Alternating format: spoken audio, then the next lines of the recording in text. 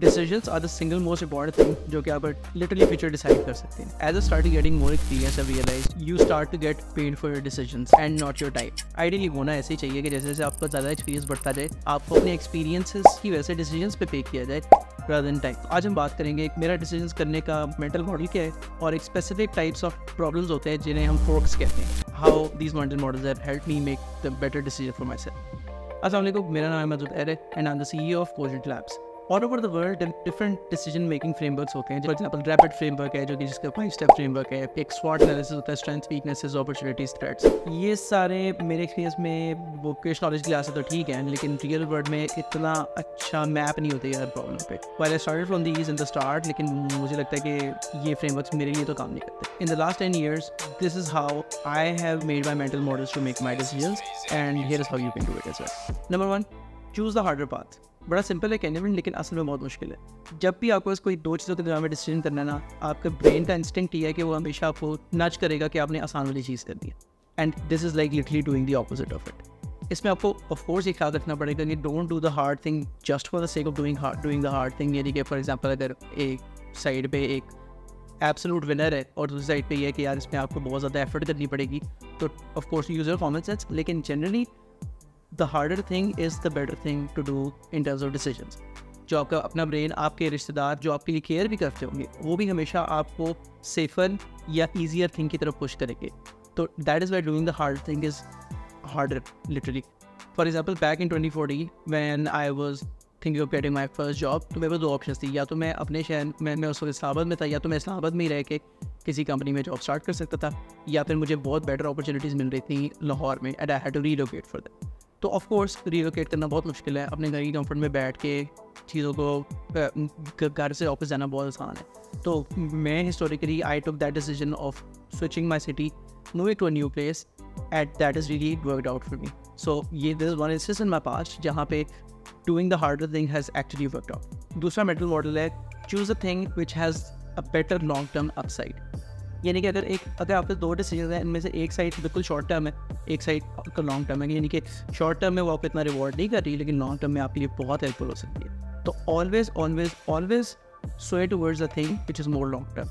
इसमें आपके personal life के डिसीज़न हो सकते हैं, आपके दोस्तों के डिसीज़न हैं may be choosing your spouse and what not always do the decision in favour of the thing which can serve you in the long term और उसका फ़ायदा ये होता है कि if you do enough of these decision यानी कि for example let say you do five specific decision and all of them were long term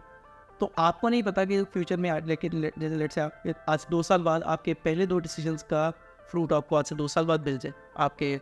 बाकी तीन डिसीज़न का आपको फ्रूट लेट से आज से सात से आठ साल बाद मिल जाए जो कि अदरवाइज़ आपको कभी भी नहीं मिलना था if you you'd choose the short short term बाद तो दो तीन फ़ायदे होते हैं इस चीज़ के। पहला तो ये कि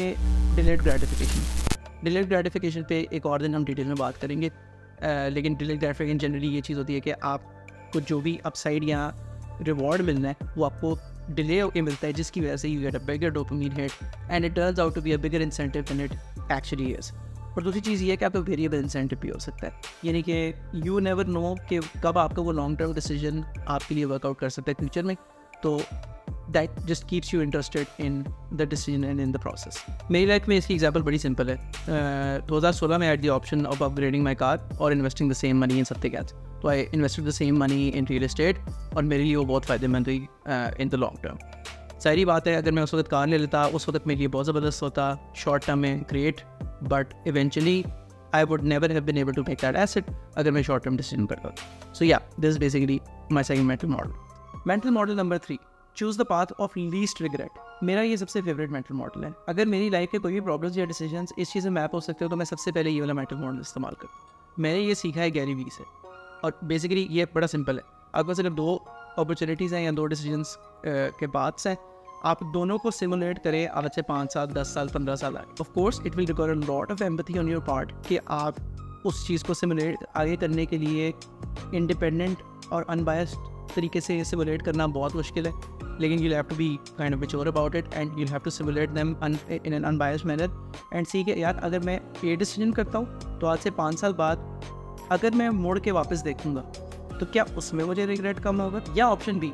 जिसमें मैं आज से पाँच साल बाद जब मुड़ के देखूँगा तो मुझे इस पर रिग्रेट कम होगा? दोनों में से जिस किसी में भी आपको रिग्रेट कम होगा that is the better decision for you this is work multiple times for me और मेरा सबसे बड़ा डिसीज़न जो मैंने इस मेंटल मॉडल से किया है, वो था स्टार्टिंग गोजन टैब्स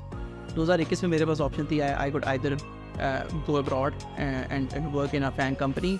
और at least aim to work in a FAANG company और start my company I took the the which was the path of least regret. मुझे उस वक्त एक्स्ट्रापोलेट करके ये लग था कि अगर मैं ये वाला पाथ देता हूँ तो मुझे इस पर रिग्रेट होगा. And it turn out be great for me so ये है हमारा तीसरा mental model mental model number four choose the path less travelled ये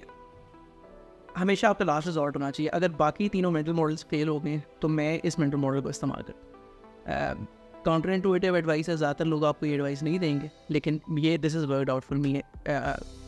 in in multiple scenarios of course common sense को पहले फ़िल्टर लगाना है, उसके बाद ये डिसीज़न करना है। लेकिन अगर आप less less travel path choose करते हैं तो it enables you to be more unique आपके जो एक्सपीरियंसेस होंगे, वो नए होंगे कंपेयर टू द पीपल वो choose the path that the majority would choose at this can position you in unique perspective तो ये थे हमारे चार मेंटल मॉडल्स अगर आप इस पार्ट तक अभी भी वीडियो देख रहे हैं तो ये है मेरी bonus advice once you made this decision from either of these models next step मैं जनरली ये करता हूँ कि I have different people in different domains in my life so for example relationship advice के लिए कोई है बिज़नेस की एडवाइस के लिए कोई और है परचेजिंग डिसीज़न की एडवाइस के लिए कोई और है। तो जब मैं ये डिसीज़न कर लेता हूँ उस पर I call these people up and I ask them कि, यार, मैंने ये डिसीज़न किया, ये सिचुएशन थी मेरे पास now you play the devil's advocate यानी कि आप you play the person who is going to disprove me and tell me कि यार तुम्हारा दूसरा डिसीज़न शायद ज़्यादा बेहतर है। या तुम्हारा ये जो डिसीज़न है, इसमें ये फ्लॉ है।